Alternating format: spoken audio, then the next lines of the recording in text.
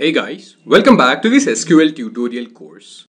In this session, we will work with the union and union all operators. So the union operator is used to combine the result set of two or more select statements. For example, if the first select statement returns these four fish and the second select statement returns these three fish, then the union operator would return the result set of these two select statements. And if there is a record which is present in both the tables, we'll get only one of them in the final result. That is, there would be no duplicates in the final result. So here we see that this blue fish is present in both the tables A and B. But in the final result of A union B, we'll get only one of the value. And this is the syntax for the union operator. We'll give the first select statement. After that, we'll give the union operator. Following which, we'll give the second select statement.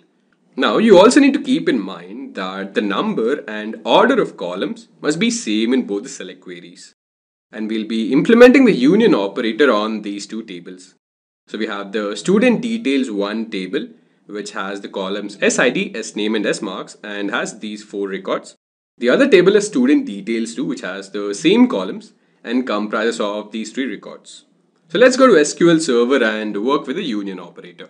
Right, so we have our two tables right in front of us. So let me star with the syntax. I'll get the first select query. Select star from and then I'll give the name of the table which is student details 1.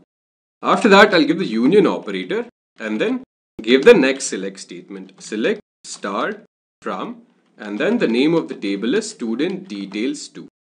I'll select all of this. I'll hit execute. So the union operator has given us the result set of both of the select statements. Then we have the union all operator. The union all operator gives all the rows from both the tables, including the duplicates as well. So here, since the blue fish is present in both the tables A and B, the final result of A union all B will also have the duplicate value. So now uh, let me just add the all keyword over here.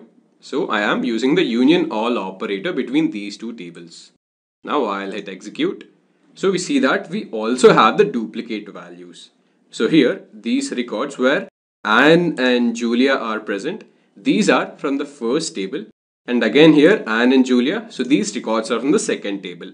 So we have also got the duplicate records this time because we've used the union all operator.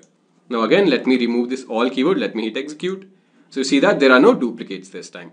So this is the difference between union and union all operators. So this is how we can work with the union and union all operators. Thanks for attending this session. Let's meet in the next class.